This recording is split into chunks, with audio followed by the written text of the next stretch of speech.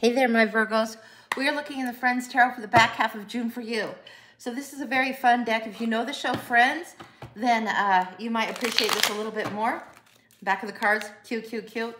But we're looking on for the back half of June, midway through, what's happened, what's currently happening, and what's coming at you.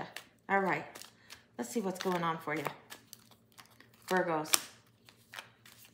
Wow, wow, wow. Ten of Wands. The burden has been heavy. This is like at the door, carrying way too much and needing to set it down. Star card here. Hope, healing, second chances. All of this is coming through for you, coming in for you. This is a big deal. This is a real big deal. Let's, let's even set these this way for you.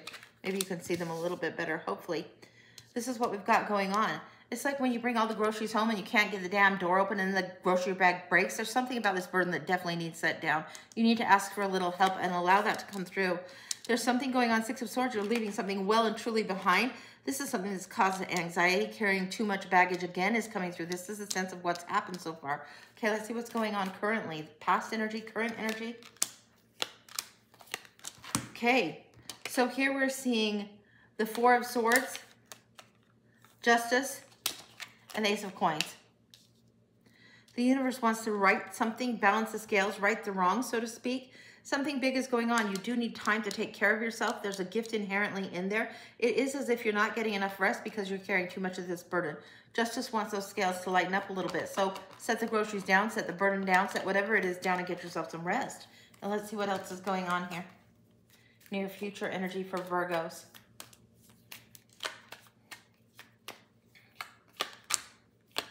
Oh, wow. Wow, wow, wow, wow. Okay. this is cracking me up. Okay, we have the Knight of Wands wanting to go forward, wanting to go forward, wanting to push so hard. This is something that you're going to have to be very careful. Balance your energetic currency here. Balance what needs to happen with what you can actually do. Sometimes you're just prone to be taking on too much at this time of year, Virgo. Here we have the Page of Swords. Having seen things, observed things, sometimes getting up in other people's business a little bit more than they want you to, even though you see something that's true as the day is long. Some people aren't ready for the true as the day is long. So if they aren't asking your opinion on something, don't be giving it for free. Certainly don't be giving it at all. You can see and observe and practice your listening skills. This one's coming in. The big ears need the practice. That's what's going on here. Listen a little bit more, observe a little bit more, and just wait for a while. Reserve judgment for a different day. Take your time to just be witness to something. Three of Cups, this is offering friendship. This is offering celebration. This is being celebrated and not tolerated. This is an important energy.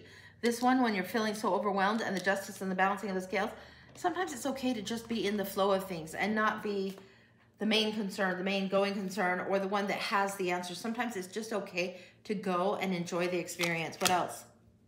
Queen of Cups, yeah. The one who listens compassionately, the one who reflects back on something and doesn't give up her dreams, doesn't give up hope for the future. This is important for you. It's important for you to just flow and revel in the flow that is there and have your dreams intact. Also, this is a time for listening and stillness for you. That's what I've got. That's complete.